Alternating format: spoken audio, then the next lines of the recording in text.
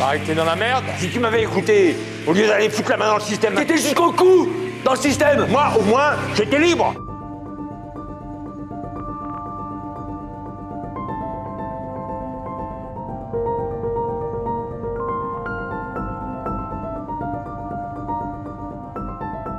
Donc là, on est sur euh, mes routes Poitevine. On est en pays mélusin. On arrive sur la commune de Jasneuil. Bah, c'est le village où j'ai grandi. Parce qu'on a quand même une des plus belles églises du Poitou-Charentes. Puis bah, c'est là que a eu le dernier moment pour, euh, bah, pour l'enterrement de mon père. Donc là, c'est la ferme et là, c'est la maison dans laquelle j'ai grandi. J'avais peint les volets rouges à l'époque, il y a plus de 20 ans. Ils ont un peu passé là. Tout ça au moment de Pâques, parce que c'est saisonnier le chevreau. hein. C'était plein de chevreaux. Même dans le séchoir à tabac, là, dans le bâtiment derrière, il y avait jusqu'à 7000 chevreaux euh, en même temps. Les chevreaux, ils boivent du lait, la poudre de lait. Et la poudre de lait, à l'époque, on la payait euh, 10 francs le kilo. Donc sur une année, enfin sur 6 mois, on, sortait plus d'un million de francs d'aliments de, poudre de lait. Vous imaginez? Les frais vétérinaires, il y en avait pour 2 ou 300 000 francs. Des- Donc ça, cumulé, ça fait des charges incroyables mais on était dépendant des cours de marché quand on les vendait les chevreaux. C'est-à-dire que mon père, en gros, concrètement, il savait combien ça lui coûtait. Par contre, il savait jamais combien il vendait euh, son chevreau au moment de le vendre euh, bah, à l'abattoir, en fait. N'y a que dans l'agriculture qu'on peut travailler à perte. C'est quand même assez dingue. hein. On ne répercute pas. Le boulanger, euh, le blé lui coûte tant, euh, il peut vendre sa baguette le prix qu'il le décide. Vous êtes menotté. La coopérative vous pousse à construire un bâtiment, euh, aidé par la Chambre d'agriculture, le Crédit agricole, ça s'appelle l'intégration. La coopérative vous apporte les poussins, ou les porcs, ou les veaux, hein, c'est la même chose, vous apporte l'aliment, et à la fin, ils vous reprennent les animaux, et vous disent, bah, tu seras payé tant. Mais vous ne faites pas la facture du produit. hein.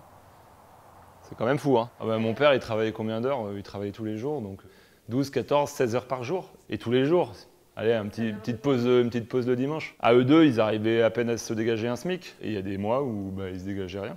Et en 89, il y a eu un incendie qui a tout ravagé. Ça, c'est le premier coup vraiment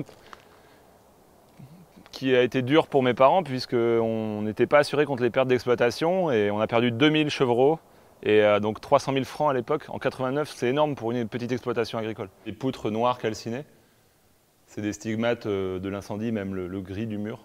Donc on avait reconstruit, rénové en fait ce bâtiment pour pouvoir continuer la production, parce que c'est pas parce que vous brûlez qu'on peut s'arrêter. Derrière, il y a les emprunts, il y a tout qu'il faut rembourser. Donc, euh, pour ça que derrière, on a continué à grandir, grandir, grandir.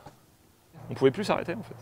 On cherchait toujours des productions différentes ou des manières de faire différemment pour rembourser les crédits qu'on avait, tout simplement.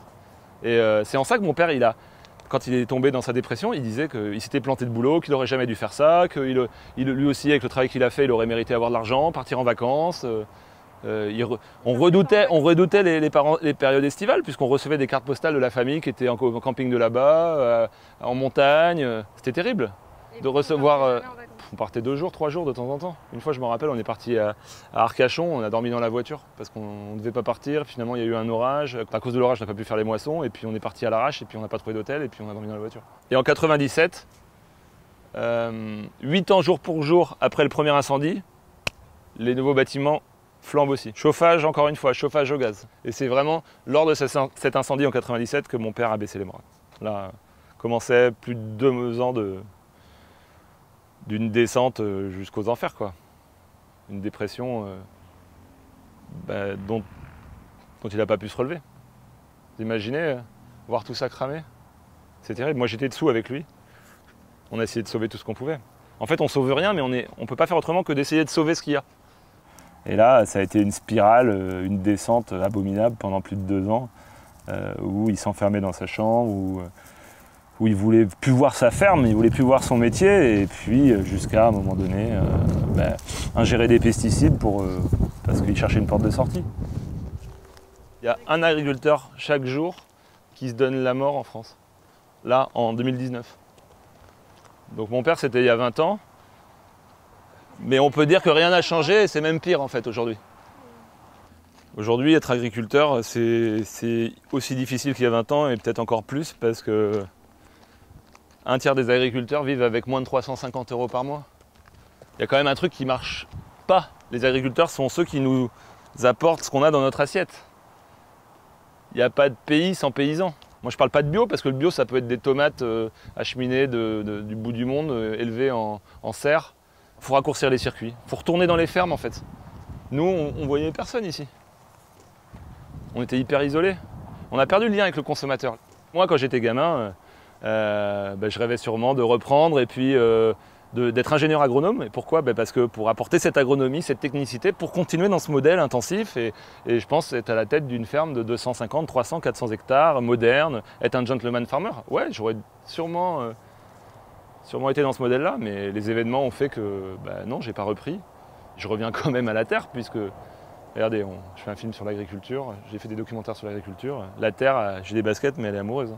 On l'a toujours qui nous suit. Je creuse toujours ce sillon de l'agriculture et, et je- j'en sortirai jamais, puisque, parce que c'est elle qui, qui nous nourrit et qui nous, a, qui nous a fait nous, qui nous a pris le pire et qui nous a amené le meilleur.